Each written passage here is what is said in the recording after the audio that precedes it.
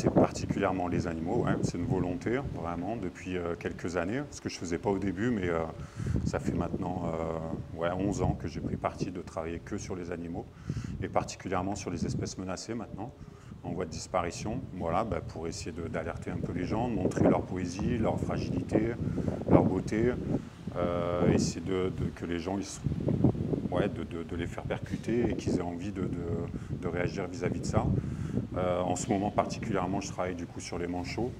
euh, et sur les animaux d'étaf, voilà, parce que j'ai eu l'opportunité de faire une résidence euh, dans un lycée, au lycée Vubel, avec un prof qui était super et avec l'étaf en partenariat.